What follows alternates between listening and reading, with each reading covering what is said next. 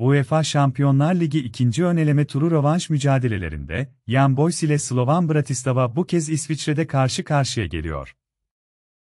Ev sahibi Young Boys, deplasman ekibi Slovan Bratislava'yı ağırlıyor. İlk maç 0-0 sonuçlandı ve Young Boys fena bir avantaj elde etmedi. Bu maçı kazanıp bir üst tura çıkmak istiyorlar ve işleri bence çok zor değil. Ev sahibi Young Boys'un zorlanmadan galibiyete ulaşmasını bekliyorum.